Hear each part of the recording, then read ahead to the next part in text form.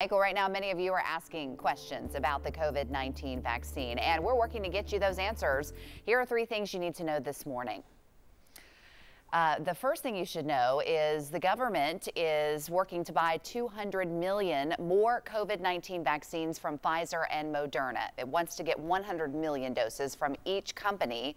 Next, here in East Tennessee, most counties are still reporting a limited number of vaccines. Fentress County says it's currently out of the vaccine completely. And finally, Knox County is still only vaccinating people in the 1A1 and 1A2 categories, as well as people over 75. That includes healthcare workers first responders, and people in long-term care facilities. Scott and Hancock counties are offering vaccines to people 70 and older. Fentress County is in phase 1B, which includes teachers. The Biden administration says its push to buy more vaccines will allow 300 million Americans to get both doses. This morning on Today, Dr. Anthony Fauci talks about the urgency to vaccinate more Americans before more virus mutations develop. You can watch that at 7 right here on Channel 10. And this morning, we're taking some of your most asked questions about the vaccine to the experts. One question we've gotten a lot lately is when will the Knox County Health Department start giving out the vaccines to people 70 and older?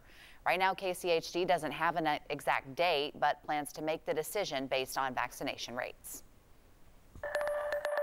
One way we'll be able to see that is we're opening up for 75 and older. Right now, they fill up like that. Um, and when we see that demand going down, we'll know it's time to open up to the 70 and olders.